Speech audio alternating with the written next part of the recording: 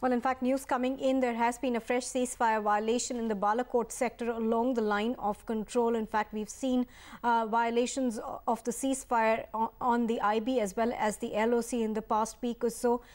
Right now, we understand there has been a ceasefire violation in the Balakot sector. Another provocation perhaps coming in as far as Pakistan is concerned ahead of the NSA level talks that are uh, slated to be held on the 23rd of August between India and Pakistan.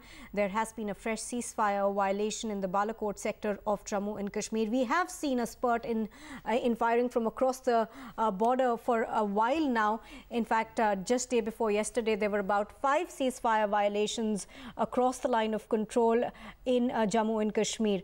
Uh, several Indian uh, civilians have also been injured in these ceasefire violations that are continuously happening across the border. Of course, Pakistan has been blaming India, putting the blame on India for these violations.